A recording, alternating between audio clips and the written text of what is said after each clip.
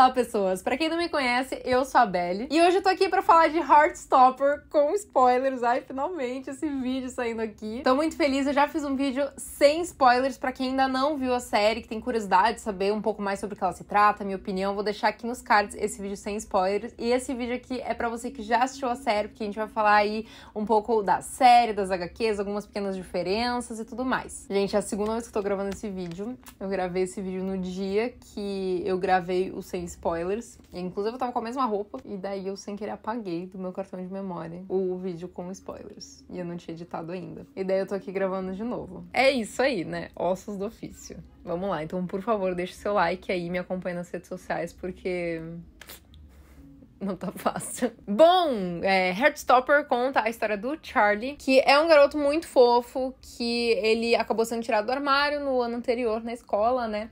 E ele tem aí um tipo de namorico ali com um garoto chamado Ben. E esse garoto, ele mantém as coisas tudo na escondida e tudo mais. E o Charlie acaba aceitando, né? Porque para ele até que é conveniente, por mais que ele esteja sempre ali meio de lado e tal. Só que as coisas começam a mudar quando ele senta do lado do Nick e o Nick chama ele para participar do time de rugby e eles se tornam aí amigos e começam a conviver mais. E, gente do céu, meu Deus do céu, vamos falar dessa adaptação incrível. Heartstopper é uma HQ, né? Caso você tenha assistido a série não saiba, né? É uma HQ escrita pela Alice Oseman, que é a mesma roteirista da série, né? Então, obviamente, a série não perdeu a sua essência, né? A gente tem vários elementos eh, muito especiais da HQ na série. A gente tem aqui no Brasil três volumes já publicados, o quarto tá para ser publicado e lá fora a gente já tem cinco volumes aí da série e é a adaptação da TV, ela da Netflix, né, no caso, ela trouxe para nós a adaptação da primeira e do segundo HQs inteiros. Assim, claro que nós temos elementos, né, que são modificados, né, com relação à HQ. Por exemplo, da HQ a gente tem bem mais os treinos deles, né, de rugby, a gente tem muito menos disso na série, a gente tem mais eles convivendo na aula em si, assim. É, acho que foi uma troca interessante, a gente tem sim momentos deles no time, né, mas eles são menores com relação ao que a gente vê é, na, na HQ, né? Porque na HQ a gente tem muito mais cenas deles ali. E a gente tem outras coisinhas, né? A gente tem uma outra ceninha ali é, que é ligeiramente diferente. Mas assim, gente, de um modo geral, a gente tem praticamente tudo que tá na HQ na tela. Assim, é uma HQ muito legal. Ela é muito bonita. Ela tem um traçado muito bonito, assim. É uma graça, uma graça mesmo. Inclusive, se você não leu HQ e for ler, você vai ver que tem vários elementos que, assim, que da série de TV, né, da Netflix, que remetem a HQ. Por exemplo, a gente tem várias cenas que tem aquelas folhinhas voando, né? Quem não leu achou fofo, quem leu pegou referência, né? Em trocas de capítulos, assim, a gente tem várias dessas folhinhas, assim.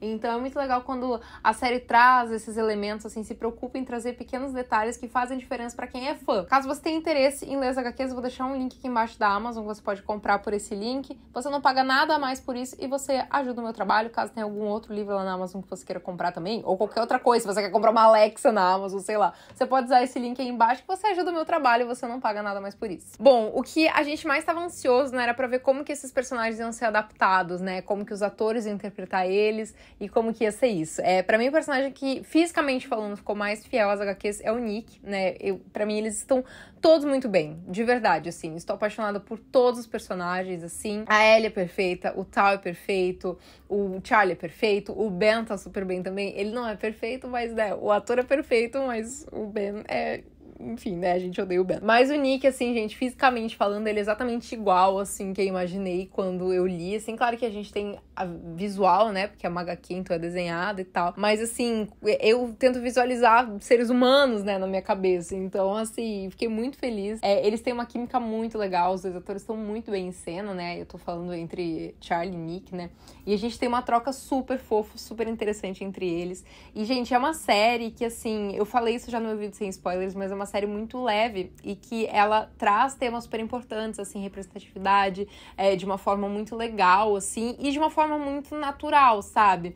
É, como eu falei no meu vídeo sem spoilers, eu acho que a questão dele ser, entre aspas, tirado do armário ficou um pouco meio é, difícil de entender para quem não leu a HQ, né? Para quem leu, é, fica super mais fácil, né, de entender, porque eles não explicam tão assim, eles não falam com tanto, assim, logo de cara, né, na série que ele é, entre aspas, tirado do armário, né? Demora um pouquinho. Ele fala assim, ah, não sei o que aconteceu no passado, e daí a gente fica meio, o que será que aconteceu no passado, né?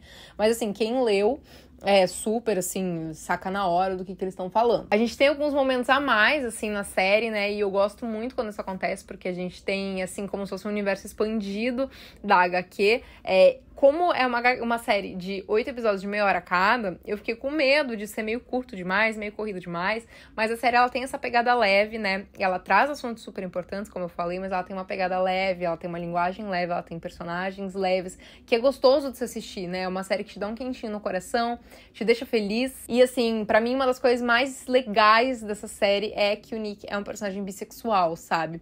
É, usando um exemplo de uma série que também é super querida, né? Que é de temática LGBT Love Victor, né? Eu lembro quando o Victor tava descobrindo que tava fim do band, existia ali uma especulação sobre o Victor ser bi, né? E ele no fim se descobriu gay. Tá tudo bem, gente, não tem problema nenhum. Só que eu acho que teria sido muito legal se o Victor fosse bi. Ele poderia muito bem ter, estar, tipo, ter sido apaixonado por aquela garota, né, e tudo mais. Então, assim, é, eu sinto que falta muito essa questão de representatividade do personagem bi né? E é muito legal que o Nick mantenha essa essência, né? Assim, é, ele, a gente já tem isso na HQ, mas é muito legal que mantenha essa essência na TV, porque é, é muito bom ver isso, né? Ver que tá tudo bem gostar de garotos, gostar de garotas também, e que ele é, faz questão de querer se entender, né? Por esse lado, assim, né? Porque o Charlie, por mais que ele tenha sofrido, né? E tudo mais, toda a exposição, ele é um personagem mais esclarecido sexualmente falando, obviamente, né? E é engraçado porque nessa fase da adolescência, né? Eles estão nesse momento de se entender né? E ele tem, quebrando ali a cabeça para entender por que, né, que ele gostava de meninos e de meninas ao mesmo tempo, assim, não ao mesmo tempo, no mesmo momento, mas assim, vocês entenderam o que eu quis dizer, gente, pelo amor de Deus. Então, assim, foi feito de uma forma muito, muito, muito sensível. E outra coisa que foi feita de uma forma muito, muito sensível, Olivia fucking Como, pelo amor de Deus. Gente, quando a gente recebeu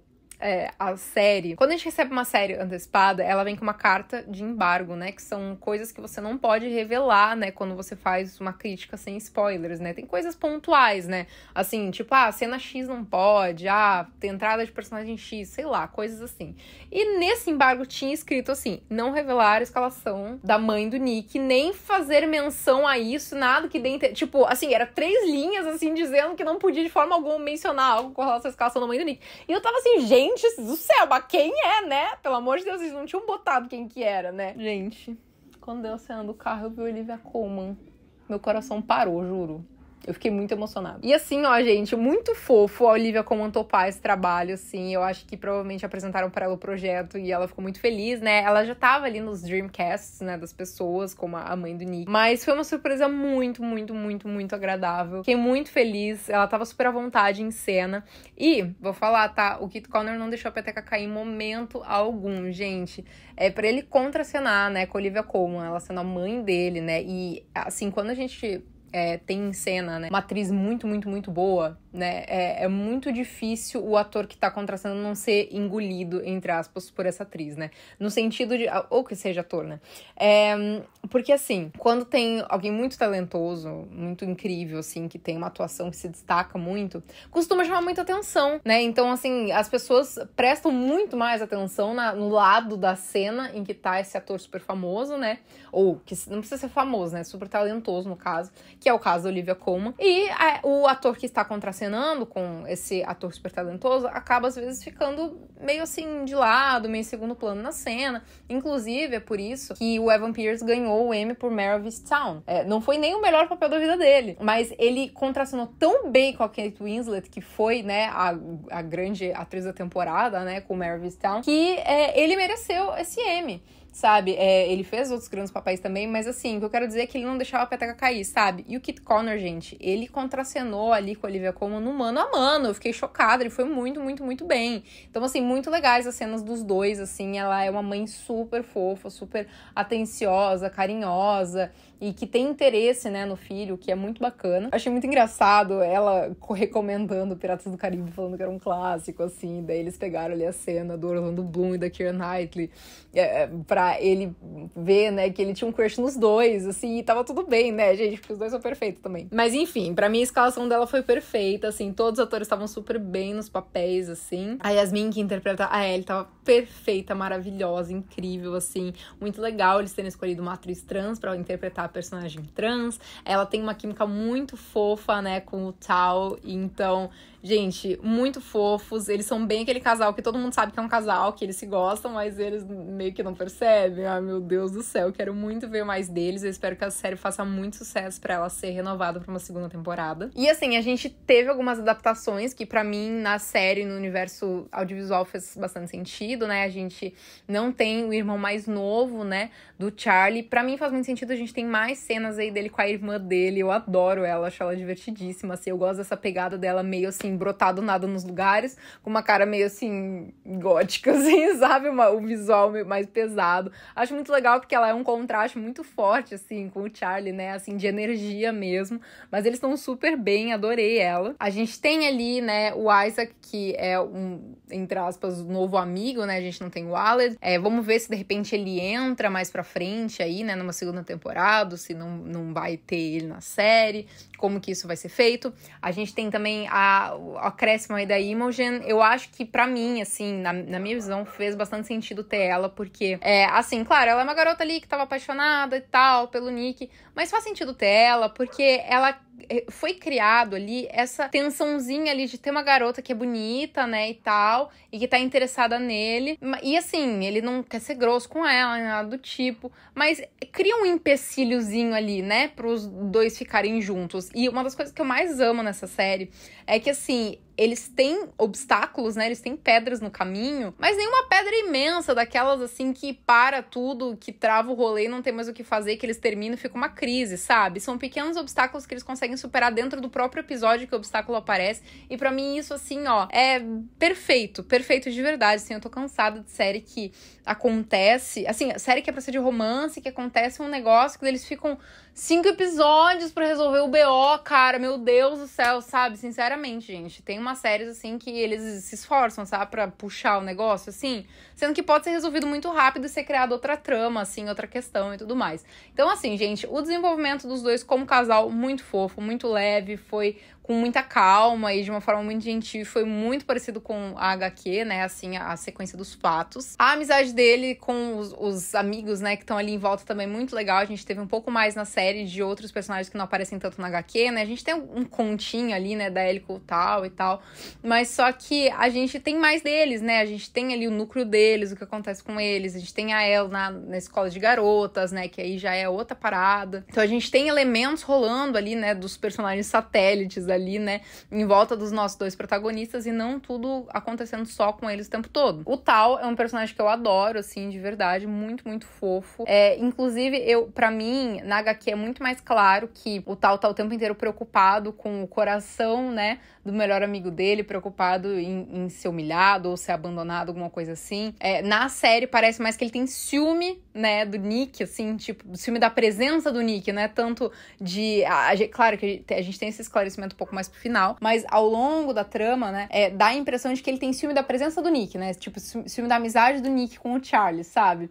E não, assim, que ele tá preocupado de fato, assim, com o coração que pode ser partido, ele fala isso só no comecinho, quando a gente tem a reunião, né, dos quatro, mas só que depois ele meio que para, ele só fica meio que assim, ah, que saco esse cara aqui, sabe? Mas mesmo assim, eu gostaria de ver mais do tal na segunda temporada. Eu tô contando com que a gente vai ter uma segunda temporada, galera. É, porque aqui é assim, a gente já vai torcendo pra segunda temporada. Tô torcendo aí pra gente ter mais do tal e da Ellie, né? A gente vai ter esse desenvolvimento aí. E a gente vai ter adaptação nos próximos HQs, né?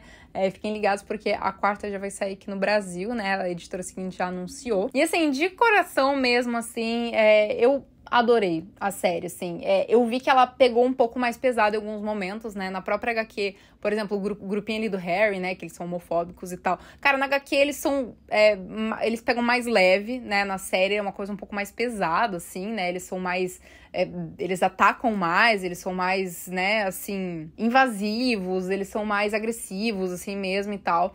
Então, assim, talvez na série tenha sido até mais fiel com a realidade, assim, do que na HQ. Na HQ eu vejo que eles dão uma segurada, assim, e tal. Mas, assim, de um modo geral, a gente tem uma adaptação muito, muito, muito fiel. É muito raro isso acontecer, né? Mas nesse caso a gente teve uma adaptação muito fiel. Eu tinha dito no vídeo sem spoilers que os fãs não precisavam se preocupar porque seria incrível. Mas assim, é uma série realmente de preencher nosso coração. Eu fiquei muito, muito feliz assistindo ela. Uma série que eu com certeza vou assistir outras vezes. E vou esperar ansiosamente pra uma segunda temporada. E eu quero saber qual a opinião de vocês de Heartstopper. O que vocês acharam, se vocês amaram. Eu não vou nem dar uma segunda opção porque não tem como não amar, né? Essa série ou é amar ou é amar, porque ela é perfeita, não tem nenhum defeito. Incrível, maravilhosa. E é isso aí, um beijo para vocês e até a próxima.